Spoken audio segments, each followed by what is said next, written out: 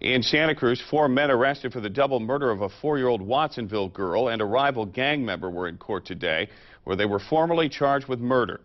Action News reporter Phil Gomez was there. He now has this report.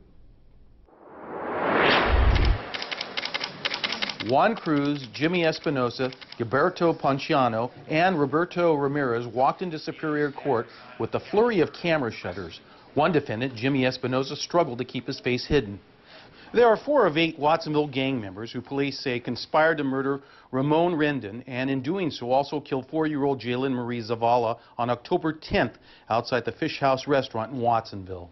Appears to be totally gang motivated. This was a rival gang member that was killed. Police say that there were two shooters, Marcos Robles and Michael Escobar, but they can't tell yet who fired the bullet that killed little Jalen. Until we get the ballistics back from the Department of Justice, who did an extensive um, crime scene analysis, collection of evidence, and they're going to do ballistics um, on the bullets that were recovered from both victims.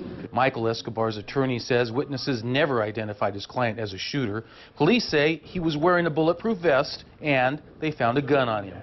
The thing that ties Michael Escobar to this is simply the fact that he was leaving the scene, running away from the scene, wearing a bulletproof vest and having a spent gun in his belt. So that is certainly suspicious, but based upon the live witness statements that were given at the scene, all of them say that Michael Escobar is not the shooter. Escobar was scheduled to appear in court Wednesday, as well as the others, but he was ill. His preliminary hearing, scheduled for January 26, will likely be continued because of the additional arrests.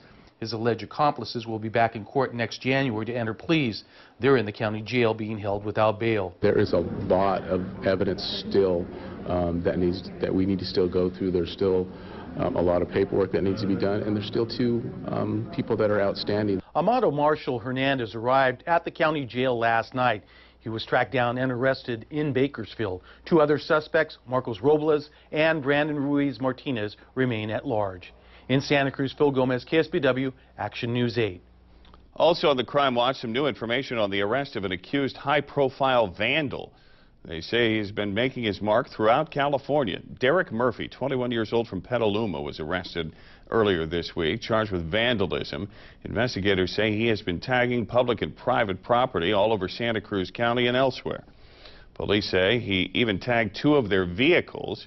Today, Santa Cruz police tell Action News Murphy may be responsible for hundreds of taggings on the West Coast. The case is getting a lot of interest from police from other departments. We'll send out what we call a critical reach flyer to all of the agencies on the West Coast asking if they have damage committed by this individual. And what we'll do is we'll work with them, we'll collaborate, and we'll share information and help them in the development of their case. Murphy has not yet been arraigned. He remains in the Santa Cruz County Jail. Sentencing today, excuse me, today for a Santa Cruz woman convicted in the assault of two Capitola cops. 25-year-old Felicia Bika will spend eight years in prison after a jury convicted her of driving her car at two police officers that were in pursuit. She was also found guilty of possession of drugs in jail. Bika was already on probation before both incidents.